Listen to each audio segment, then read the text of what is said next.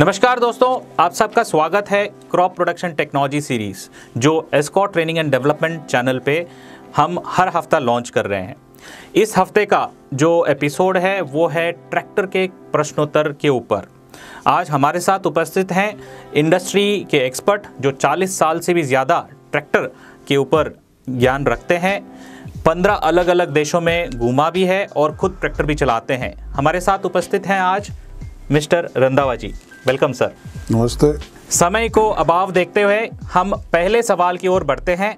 पहला सवाल आया हुआ है सतवीर सैनी जी का और ये पूछ रहे हैं सर मेरे एक क्वेश्चन है Escort company silent tractor model कब लॉन्च करेगा? आपके क्वेश्चन से साइलेंट ट्रैक्टर हम जो समझ रहे हैं कि जिसकी आवाज़ कम हो या बिल्कुल आवाज़ ना हो। बिल्कुल आवाज़ ना देने वाला ट्रैक्टर तो इलेक्ट्रिक ट्रैक्टर ही होगा। जो कि छोटे हॉर्स पावर में ऑलरेडी हमने लॉन्च किया है। उसका गवर्नमेंट सर्टिफिकेशन भी हो गया है और जल्दी ही आपको मार्केट में उसका आप डीलर से कांटेक्ट कर सकते हो। और कम आवाज़ वाला तो हम हमेशा कोशिश करते हैं कि आवाज़ कम हो, मगर बहुत लोग तो हमें आवाज़ कम करने को इजाज़त नहीं देते, क्योंकि जो लोग इतने सालों से फार्म ट्रैक या पावर ट्रैक की आवाज़ सुनते हैं वो कहते हैं कि आवाज़ चेंज नहीं होना चाहिए, जो जो मर्ज़ी हो जाए। तो आपकी जो रिक्वायरमेंट है, वो वो भी देखेंगे, कैसे पूरी हो सकती है। मगर अभी तो हमारे जो आवाज़ है, वो पब्लिक डिमांड पर हम देते हैं। Thank you thank you very much sir बिल्कुल सही कहा सर जो पूरी एशिया के अंदर जो पहला इलेक्ट्रिक ट्रैक्टर लॉन्च करने वाला कंपनी था, वो एस्कॉट जो हमने बाहरी देशों के लिए लॉन्च किया, छोटे एचपी के अंदर। और बहुत जल्द इंडिया के लिए भी हम लॉन्च करने वाले हैं। और पहला ट्रैक्टर कंपनी है जो इलेक्ट्रिक ट्रैक्टर को बूदनी के टेस्टिंग के अंदर अप्रूव भी किया है, वो है एस्कॉट्स अगले सवाल की ओर बढ़ते हैं और ये है मोहन वाक जी का।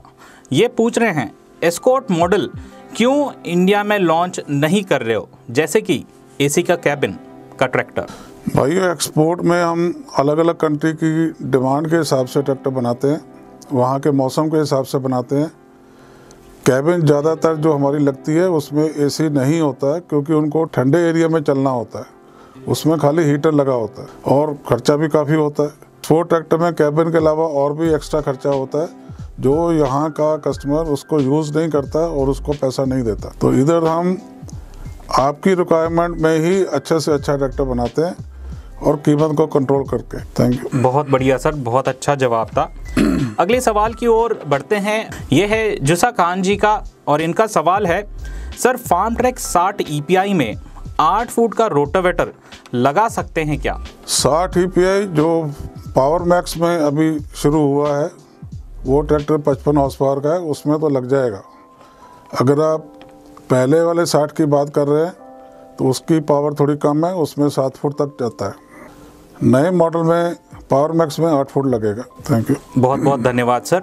फार्म ट्रैक जैसे कि पावरफुल माना भी जाता है पूरी दुनिया में, अभी और भी पावरफुल हो गया पावर मैक्स सीरीज़ के साथ। अगले सवाल की ओर बढ़ते हैं। ये है दिनेश यादव जी का, और इनका सवाल है, सर, मेरे पास यूरो पचास है, और इसमें रोटोवेटर में गिरारे 18-15 या 16-19 की गिरारे में है, क्या लोड पे सात फुट का रोटोवेटर में चलेगा? देखिए गरारी यानी कि जो रोटर के नीचे चक्कर बनते हैं वही उसमें चेंज आएगा। 16 19 में कोई 180 चक्कर बनेंगे जो रोटर के ब्लेड के चक्कर शाफ्ट के चक्कर हैं। और 17 18 होती है 17 18 दूसरा ऑप्शन है उसमें 200 प्लस बनेंगे।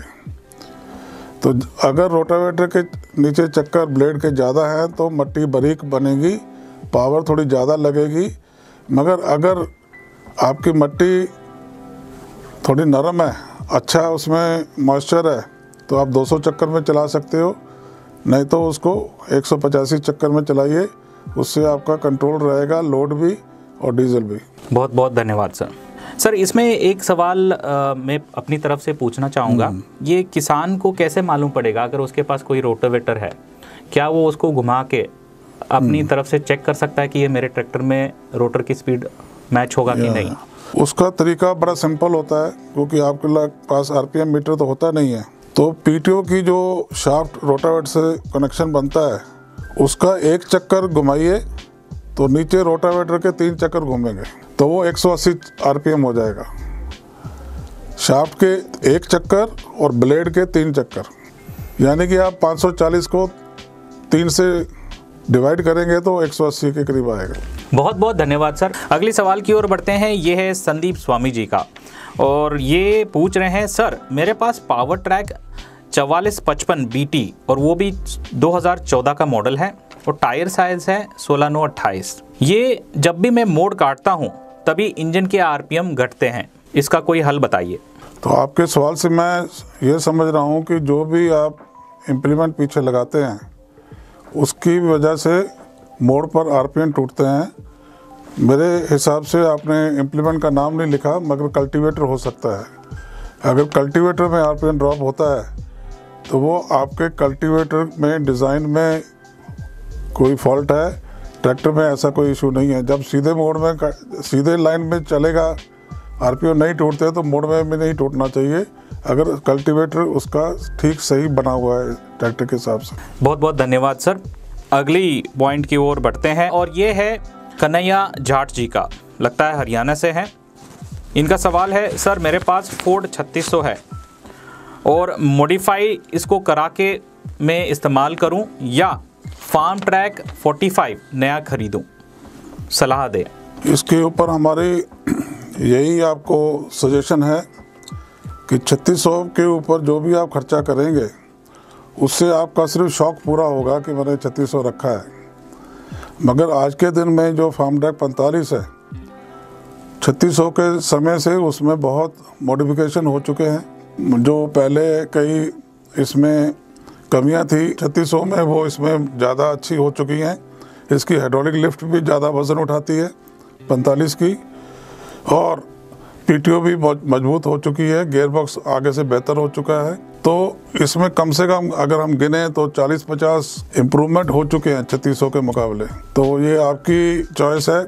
शौक को पूरा करना है कि आपको एक अच्छा प्रोडक्ट लेना है जो आगे से बेहतर हो चुका है। उसी सवाल से जुड़ते हुए उन्होंने एक और सेंटेंस बोला था कि ये मैं अपना घर का काम ही करूँगा कहीं भाड़े पे नहीं चलाऊँगा। भाड़े पर ना चलाएँ मगर अपने काम के लिए भी जो ट्रैक्टर आगे से पहले बेहतर हो चुका है, वही लेना चाहिए ना।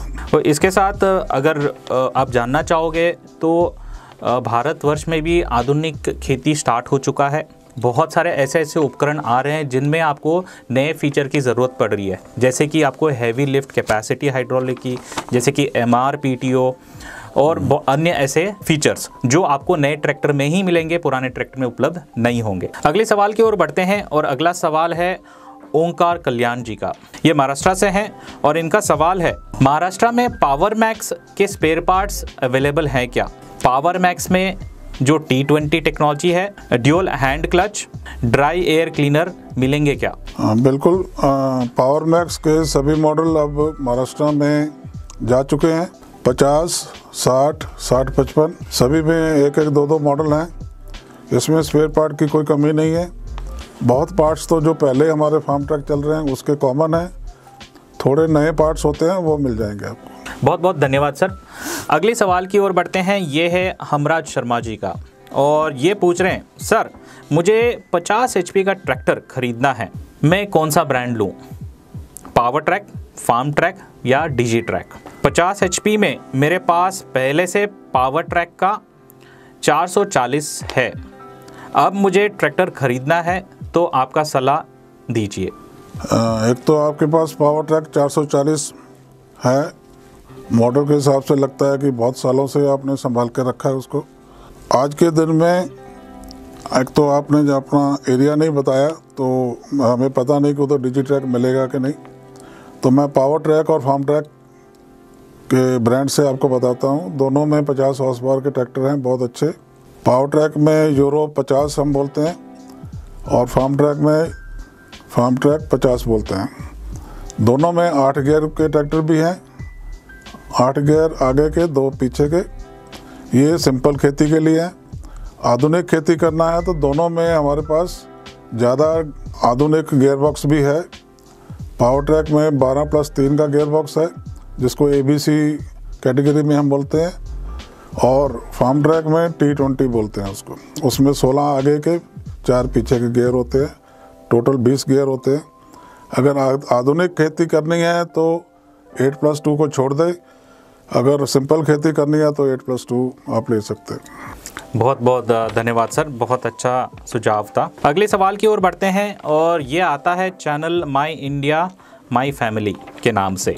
मेरा नाम है चंद्रमोहन और मेरे पास है फार्म ट्रैक 45 इसमें मुझे लगता है कि ट्रैक्टर के चक्कर कम है मतलब ट्रैक्टर की स्पीड, गति कम है, जिसकी वजह से मुझे रोटोवेटर में जब काम करता हूँ तो टाइम ज़्यादा लगता है। अगर आप इसमें स्पीड बढ़ा देंगे तो मैं ज़्यादा काम कर सकता हूँ और ज़्यादा कमा भी सकता हूँ। इसमें सुझाव दीजिए। आपने कहा कि आप भाड़े पे काम करते हैं और तेज चलने से शायद आपको ज़्यादा पैसे मिलेंगे। मगर हम जो रोटावेटर या कोई भी ऐसे काम के लिए ट्रैक्टर की स्पीड हम सिलेक्ट करते हैं, हम काम देखते हैं उसका। हम उसको भाड़े के हिसाब से नहीं बनाते। स्पीड हम वही रखते हैं जिसमें रोटावेटर का बेस्ट रिज़ल्ट आएगा। रोटावेटर हम इसीलिए चलाते हैं कि मट्टी को हमको ब्रिक करना होता है और ताकि बीज आप जल्दी डाल सकें बीज के लिए आपने तैयार करना है। अगर आप मट्टी के हिसाब से, मट्टी में जो उसकी रिज़ल्ट आएगा, काटने का। उसको देख के आप बात करेंगे तो ये बेस्ट स्पीड है। हम भाड़े के हिसाब से स्पीड नहीं बनाते। थैंक यू बहुत बहुत धन्यवाद, सर। अगली सवाल की ओर बढ़ते हैं और ये सवाल आता है विजय सोनवाने जी का, जो महाराष्ट्र से बिलोंग करते हैं। ये बोलते हैं, मेरे पास है एस्कॉट का 355 दो 2000 का मॉडल है। और मैं ट्रैक्टर अभी खरीदने का सोच रहा हूँ, Farmtrac 50 EPI power max में। महाराष्ट्र में ये पावर मैक्स सीरीज़ अवेलेबल होगा क्या? हाँ अभी हम पहले भी बता चुके हैं, बिल्कुल पावर मैक्स में सभी पावर मैक्स के ट्रैक्टर अवेलेबल हैं। आप कोई भी एजेंसी से बात करिए पहली बात तो बधाई है कि आपने 355 बहुत साल से संभाल के रखा है, चला रहे हैं। और इसी से हमें भी बहुत अच्छा लगता है कि हमारा प्रोडक्ट आपको अभी भी सर्विस दे रहा है। दूसरा जो पावर मैक्स आपने 50 की बात कर रहे हैं ईपीआई e की ये बहुत मज़बूत ट्रैक्टर है। इसमें gear box axle crown hydraulic सब कुछ बहुत अच्छा आपके इला, इलाके के मट्टी के हिसाब से प्लाव में चीजल प्लाव में या डक फुट में बहुत अच्छा चलेगा। आपको हो सकता है कि 355 से भी ज़्यादा अच्छी सर्विस दे। थैंक यू बहुत बहुत धन्यवाद सर सवाल की ओर बढ़ते हैं और ये आता है दंगाराम चौधरी जी का। ये पूछ रहे हैं सर जी क्या डीजी ट्रैक ट्रैक्टर लेने के लिए पुराना ट्रैक्टर एक्सचेंज कर सकते हैं क्या? ये आप जब हमारी वेबसाइट खोलेंगे उसमें हमने बड़ा क्लियर बताया हुआ है कि हम पुराना ट्रैक्टर नहीं लेते उसमें। इसीलिए हम उसको आपको ऑनलाइन सर्विस भी देंगे और आपका ट्रैक्टर भी डिलीवर करेंगे। इसमें एक्सचेंज का हमारा कोई स्कोप नहीं है। थैंक यू बहुत बहुत धन्यवाद सर तो ये अपने लोकल में कहीं भी अपने दोस्त रिलेटिव या कहीं भी लोकल ब्रोकर से ट्रैक्टर अपना पुराना बेच सकते हैं और नया ट्रैक्टर ऑनलाइन बुकिंग कर सकते हैं। अगले सवाल की ओर बढ़ते हैं। ये है कुलदीप सिद्धू जी का और ये पूछ रहे हैं Digitrac P P forty six power brake suspended pedal T twenty gear box में लॉन्च कब होगा?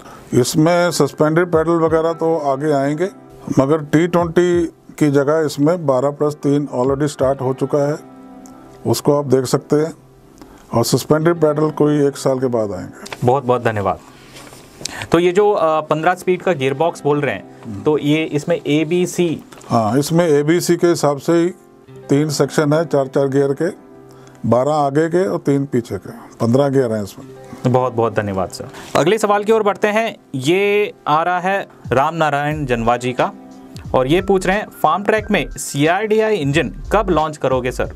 सीआरडीआई तो सरकारी धुएँ के रूल्स के साथ उसका रिश्ता है। जैसे गवर्नमेंट ने पीछे कुछ हमें थोड़ा एक्स्ट्रा टाइम दिया क्योंकि जो पीछे बीमारी आई उसकी वजह से सभी कंपनियाँ अपना काम पूरा नहीं कर सकी। तो ये जो साल अभी स्टार्ट हुआ है 2021 इसमें आएगा। और जैसे ही आएगा तो आपको हमारी डीलरशिप से पता लग जाएगा। बहुत बहुत धन्यवाद, सर। बढ़ते हैं आखिरी सवाल की ओर इस एपिसोड के लिए। और ये है एम के इन्फॉर्मेशन से, और ये पूछ रहे हैं, सर डीजी ट्रैक राजस्थान में कब लॉन्च करेंगे commercially P P forty three कैसे रहेगा सर? अभी तो हमारा पंजाब हरियाणा और वेस्टर्न यूपी में डिजी ट्रैक सर्विस है और उधर ही हम बेचते हैं। अभी ये एरिया को थोड़ा और डेवलप करके फिर हम राजस्थान में एंटर करेंगे। उसका प्रोग्राम हमारी वेबसाइट में आ जाएगा। बहुत बहुत धन्यवाद। सर आपने अपना कीमती समय लिया इन सारे प्रश्नों के उत्तर देने के लिए और क्रॉप प्रोडक्शन टेक्नोलॉजी सीरीज़ की प्रश्नोत्तर एपिसोड बनाने के लिए। बहुत बहुत मेहरबानी। अच्छा लगता है कि आप लोग हमें याद करते हैं बार बार। आप आते रहिए क्वेश्चन डालें, हम उसका जवाब दें तो सारे दर्शकों से मैं ये पूछना चाहूँगा, क्या आपको ये सारा प्रश्नोत्तर का एपिसोड पसंद आया? तो इस वीडियो को अपने दोस्तों से रिलेटिव से और सारे जो नंबर आपके मोबाइल में है, उन सबको शेयर कीजिए। एक मुख्य सुझाव, अपना प्रश्न पूछते रहिए और हम उसके जवाब देते रहेंगे। और हाँ अगले एपिसोड को बिना मिस किए आप देखना चाहोगे बेल आइकन पे क्लिक कीजिए सब्सक्राइब ज़रूर कीजिए। बहुत बहुत धन्यवाद।